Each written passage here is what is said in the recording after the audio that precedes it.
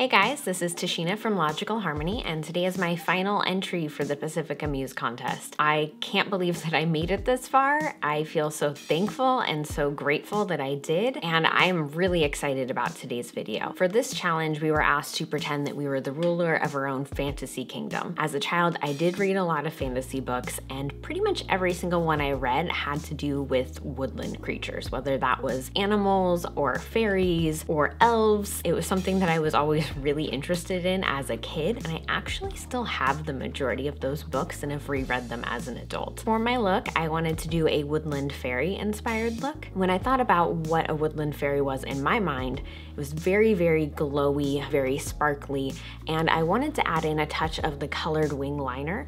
I thought that this was fun because it's using the Pacifica eyeshadows in a different way to really create an eyeliner look that pops and using some fun colors. And when I thought about what the perfect environment would be like, I just thought of gigantic trees, the kind that tower over you and block out the light to create their own ecosystem down below, and lots of moss, lots of really cool rocks and crystals, things that naturally occur on this earth. There would definitely be a little creek going through it with some little salamanders and hedgehogs. I really hope that you guys enjoy this video. It was so much fun to create. So if you wanna see how I got this look, just keep watching. First, I'm going to apply the Alight Mineral BB Cream to my entire face. I'm using this as my primer today. Next, I'm going to use one pump of the Dreamy Cover Serum Foundation all over my face.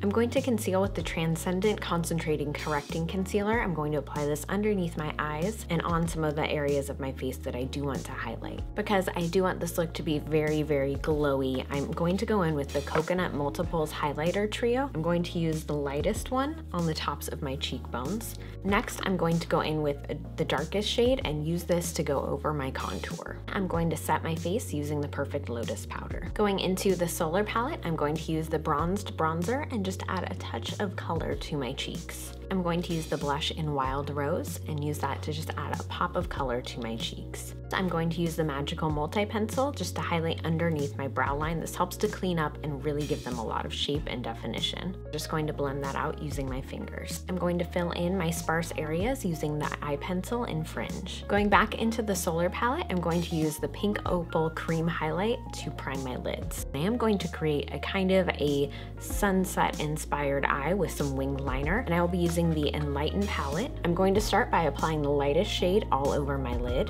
And I'm going to deepen up the crease a little bit by going back in with the bronzed bronzer from the Solar palette. Next, I'm going to apply the gold shade from the Enlighten palette to the outer half of my eye. And I'm going to apply this pinky melon shade to the inner half of my lid. Next, I'm going to go in with the liner pencil in black and line my upper waterline. I'm going to take a slanted brush and dip that into the purple shade from the Enlighten palette. And this is what I'm going to use to line my eyes today. I'm going to start out with the wing and then bring that in towards the inner corner of my eye. So I'm going to use another slanted brush. I'm going to take that into the Mermaid Aqua shade from the Solar palette and do the same thing. And I'm going to apply this line on the top of my purple line so that way it overlaps just a little bit.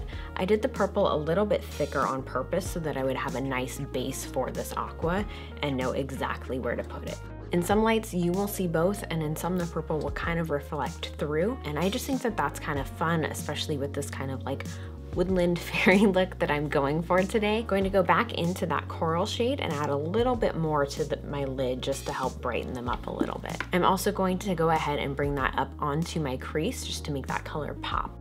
I'm going to take that same light coral shade and apply that to the inner half under my eyes. And then I'm going to take the purple and apply that to the outer half. And right in the very center, I'm going to place a little bit of pop of the Mermaid Aqua. Because I want my skin to be very, very glowy, I'm going to use the lightest shade from the Enlighten palette as a highlight. I'm going to apply this to my cheekbones, down the bridge of my nose, my upper lip, and my chin. Now I'm going to use the Pacifica Dream Big Mascara, and I'm going to apply that to my upper and lower lashes. I'm going to use the Enlightened Gloss in Opal and apply that before my lipstick. Then I'm going to apply the Devotion lipstick in XOX, which is a very pretty pink coral. And that is the finished makeup look. And of course, I can't forget my flower crown. Thank you so much for joining me. I'm so thrilled to have been a part of the Pacifica Muse contest, and I will see you soon.